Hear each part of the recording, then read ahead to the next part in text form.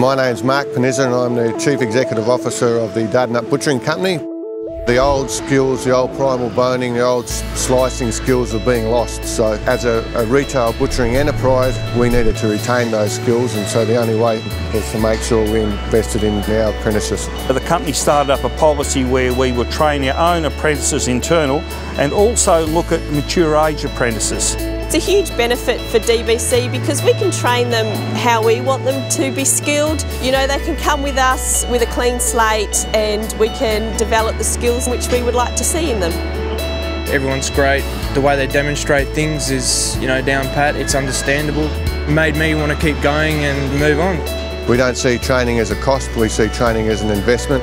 To see the young people come through now from nothing to where they are today is a fantastic achievement. Our training system here is that good that we have other places now who are sending people here.